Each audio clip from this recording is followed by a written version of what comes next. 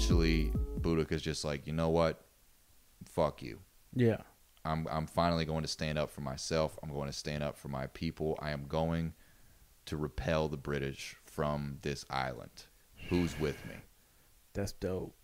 That's dope. Cause it like when some shit happens like that, You gotta you gotta, you gotta, come something. back. Yeah, you gotta you- come back. I mean, they asked for it at that point. To keel over at that point, it's not an option. You got to take it to them.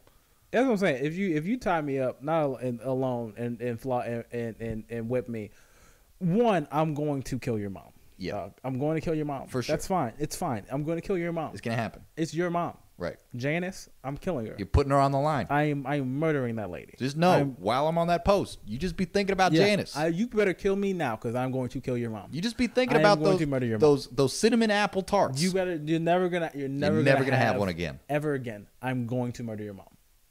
Just know that. Ever try happen. that? It's Ever try happen. that? Yeah.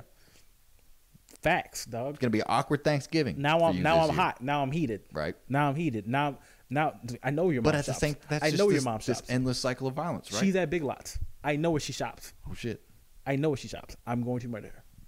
my mom's Sam's Club. Because don't see. tell people where your mom shops because oh, now they can murder your mom. What are you doing? Mom. what are you doing? What mom. are you doing? She listens to this podcast. Nobody Get out of Sam's Club.